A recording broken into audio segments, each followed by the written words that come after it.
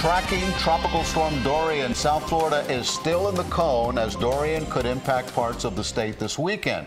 And take a look at this new video out of Martinique. Dorian dumping heavy rains, leaving flooded streets and down power lines across that small French island. The storm is now taking aim at Puerto Rico. Let's get right to Chief Meteorologist Craig Setzer with the latest forecast track. Craig.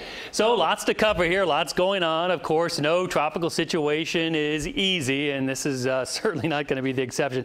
There are a lot of hurdles Dorian down here has to overcome to end up somewhere here where we live. Let's talk about those. First off, what happened during the day today?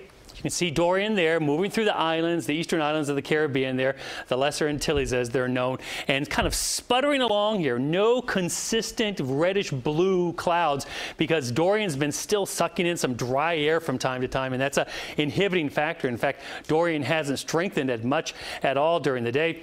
Pressures are about the same, the wind speed's about the same, uh, but Dorian has uh, at least maintained somewhat of a, of a big storm envelope here as it's been moving off to the northwest. Now, an interesting thing happened during the day today. Hurricane hunters out investigating it said, there's the center, there's the center, and then they said, uh-oh, we're having a hard time finding the center. And then they went on up to the north a little bit, and they said, oh, there's the center there. So it literally reformed or jumped up to the north northwest there. And if you think about this is the initial point of a track, well, the whole track kind of shifts when it does that. And uh, this was not really forecast, but a lot of times when we have a developing uh, tropical storm or something like that, a system like that, they tend to jump around a little bit, sometimes reform a little bit. But that's been the case today. Now, here's the 5 o'clock advisory.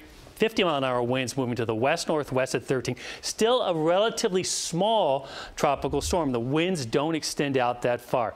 Future track takes it toward Puerto Rico. This is the Wednesday afternoon time frame, Wednesday night, and then Thursday afternoon here. The track has shifted a little bit to the right here because of that jump today. So now more of Puerto Rico could be under the gun from a strong tropical storm. Then after that, that's where it comes into play here because the center moves up and then turns to the west. Equal odds here for about the entire peninsula. What's steering it along the way? Oh, it's those blocks in the high pressure systems in the Atlantic and there's an opportunity to go north there. Right now, Dorian is moving towards that break in the block, but eventually this high pressure system over here, it's going to want to turn Dorian back to the west because it can't go to the north. This is the block. The big question is, how strong is that block going to be? How does Dorian respond to it? Just too many unknowns. Does it even get here and make it through the northern Antilles, uh, the greater Antilles there? Just too close to call right now. But certainly we'll be watching it tomorrow, topping off our after the storm Hurricane Kit. We'll be talking more about that coming up. Thursday, we'll be watching for how the islands impacted the storm. Friday, we'll be watching for its direction and speed at that time and how organized the storm is for what it could mean to South Florida. More on that in our local weather, which is a little bit stormy and hot, coming up. Yeah, the next couple of days will be critical. We'll be paying attention, Craig. Thank you. And help